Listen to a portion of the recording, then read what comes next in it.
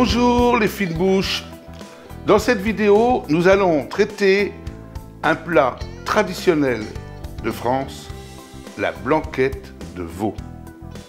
Quels sont les ingrédients nécessaires pour réaliser une bonne blanquette de veau? Il faut donc du veau. Du veau, vous demandez à votre boucher pour faire une blanquette. Deux oignons. 4 gousses d'ail,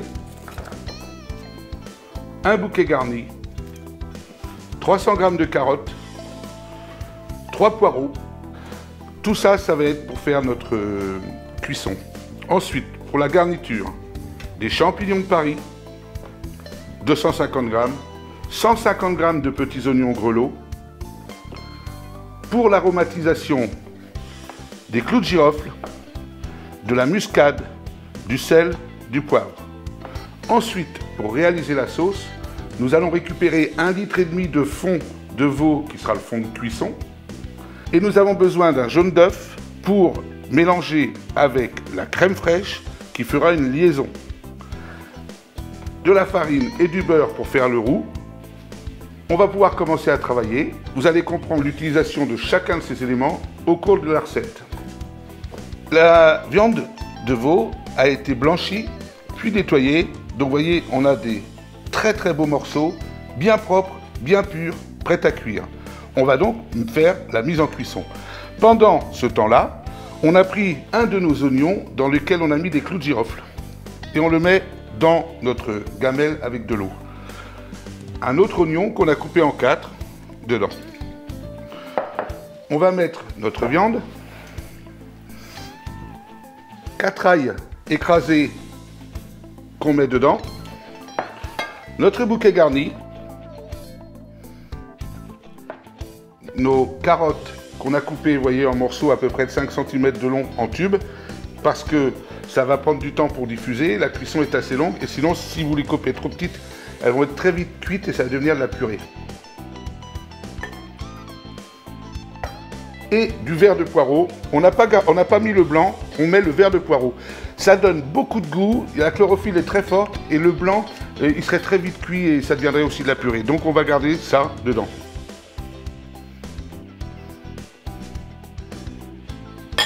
Moi, traditionnellement, vous le savez, je mets toujours un petit peu de, de sel en début de cuisson.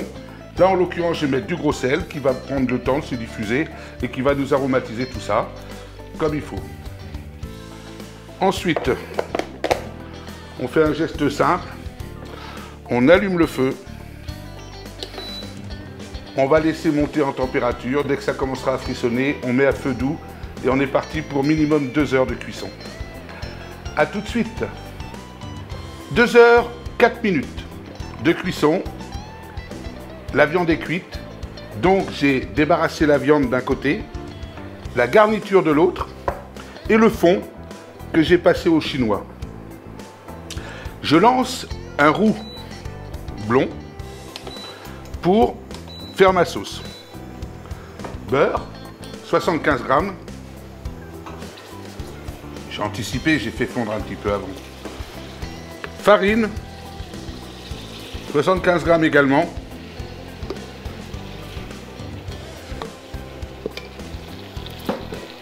On mélange bien sûr, vous vous souvenez, le roux. Ceux qui nous suivent régulièrement, le roux. Surtout de faire attention à ce qu'il ne brûle pas. Et dès que la farine et le beurre sont bien mélangés, on mouille avec le fond de cuisson. En général, il faut à peu près un litre et demi de fond. Mais comme vous pouvez le remarquer, il y en a un peu plus. Alors, pourquoi? Ben, Je vais vous expliquer que normalement, la blanquette, traditionnellement, ça se déguste avec du riz. Ben, vous prenez le fond qui reste pour faire cuire votre riz. Et votre riz aura lui aussi un très très bon goût de fond. Et ça économisera de l'eau pour la planète. On mouille, hein. On y va.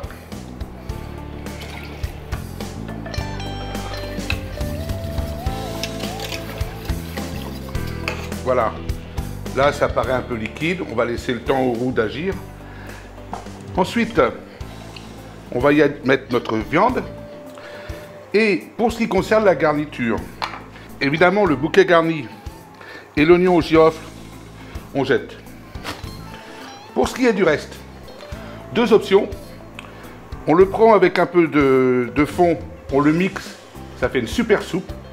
Ou alors, on dresse la blanquette avec ses légumes, si vous voulez pas faire de riz. Et ça sera aussi très très bon. Par contre, on le sert séparément, pas dans la sauce. Pendant le temps de cuisson de la viande, on a eu le temps de préparer nos petits oignons glacés à blanc et nos champignons cuits au fond blanc. Là, vous voyez, ça commence à prendre, donc on baisse un peu le feu parce que c'est une sauce faut éviter d'agresser. Elle commence à épaissir, donc je la rallonge un peu et je vais procéder aux assaisonnements.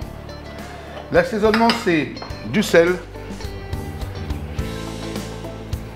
du poivre blanc, pour éviter que la couleur se voit dans la sauce.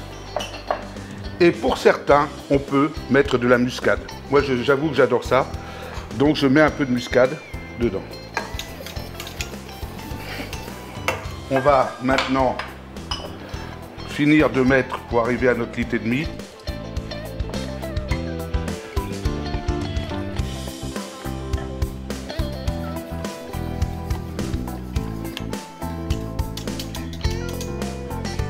Et on va y rajouter la viande. À partir de maintenant, tout ce qu'on va faire sera fragile. La viande est cuite, si on la maltraite, elle va se casser. On va y rajouter les oignons et les champignons, peu importe l'ordre. Parce que faut que tout ça revienne en température sans jamais les agresser.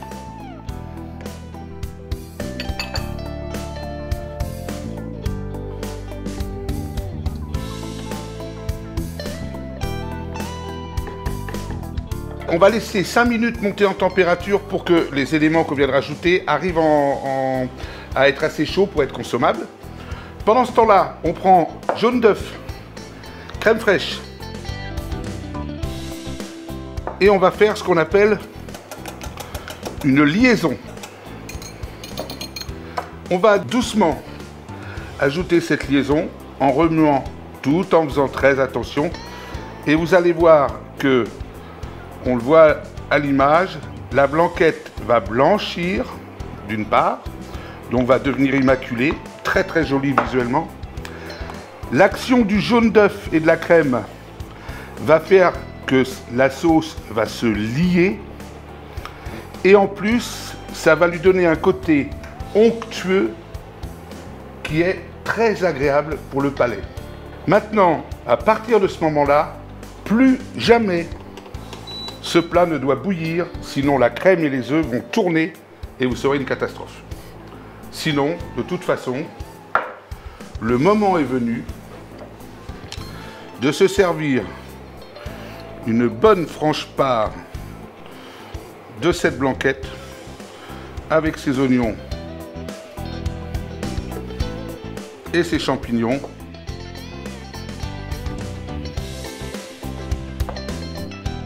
Voilà, les amis, une belle blanquette de veau, très agréable à manger. Alors, avec des carottes, avec du riz que vous aurez fait cuire avec le reste de jus, avec ce que vous voulez, à vos fourchettes et bon appétit. Alors, tout se passe bien?